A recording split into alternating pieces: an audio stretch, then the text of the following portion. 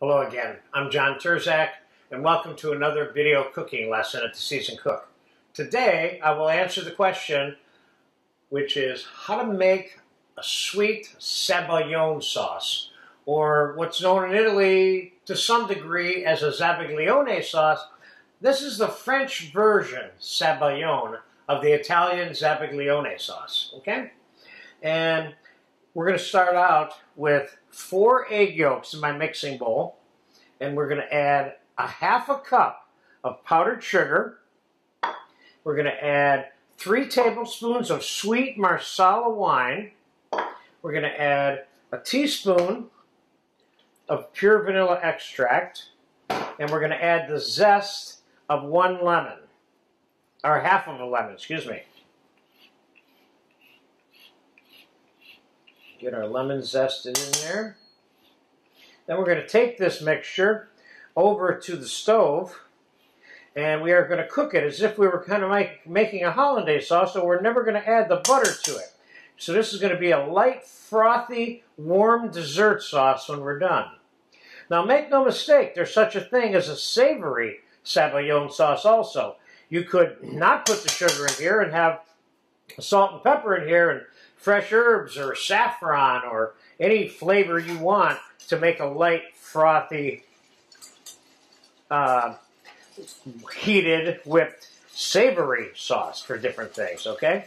So we're going to take this over to the stove now. Okay, the trick here is to don't scramble your eggs. This is a little bit like hollandaise sauce without adding butter. So what I've done is I got a little bit of marsala down here and a little bit of cold water for backup if I need to thin this out. Now it's on a full boil right now, and I'm going to start the cooking process with it on a full boil, but I'm going to turn it down a little bit right now.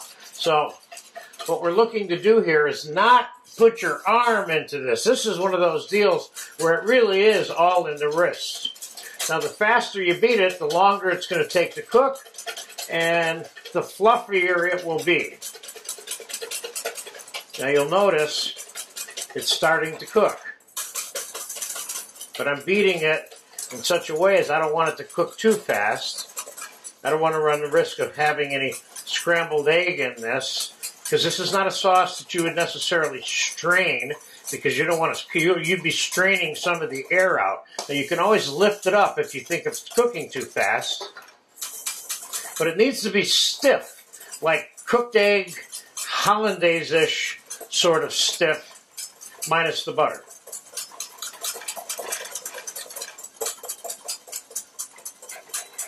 Okay, I'm going to crank it back up just a touch more. Now you can put this on super low and stand here for 20 minutes if you want, but you see I got that water is boiling in there.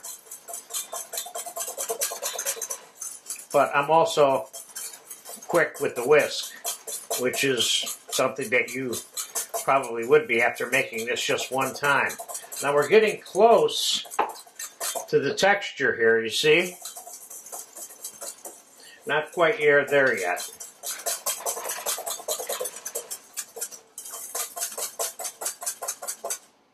Now if I slow it down, it'll start cooking faster.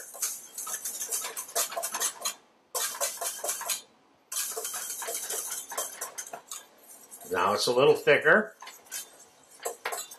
I'm going to use this as a dipping sauce today with fried strawberries and bananas.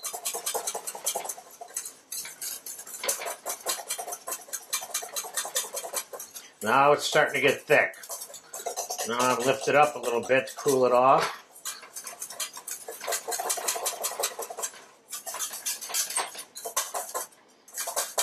I'm going in for the final. I'm going to slow this cooking down a little bit get that egg cooked.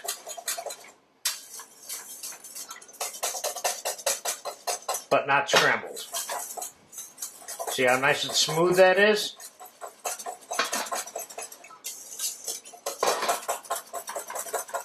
There you go. That's cooked enough for me. I think. Not quite, but close. See, it's gotten thicker and thicker now.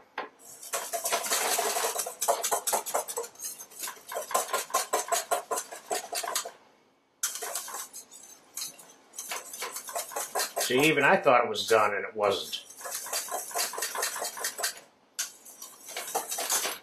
Now it's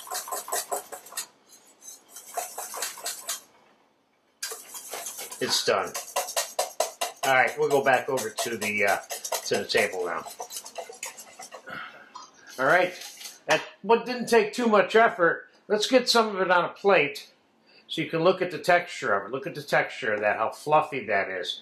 Now, what would you serve this with? And why did I use Marsala wine? Marsala wine is a traditional Italian wine that's used in Zabaglione sauce, and this is the French version, but I use uh, the uh, Marsala wine anyway. But I could have put a little rum in there if I wanted to instead of the Marsala, and, and serve this with warm apple pie, or serve this with hot souffle, or even a cold souffle with a slightly warm, light, fluffy sauce. So there you have it. I hope I answered the question for you of how to make French-style Sabayon sauce. And again, I'll remind you, it doesn't have to be sweet. You can make many savory versions of this. Enjoy. Oh, one more thing I forgot to tell you, and that is that, let's say you make this and it's sitting around your kitchen for a while while you're waiting to serve it with whatever it is you're serving it with, you can put it back over the boiling water and warm it up again quickly, easily too. Okay, now enjoy it if you get a chance.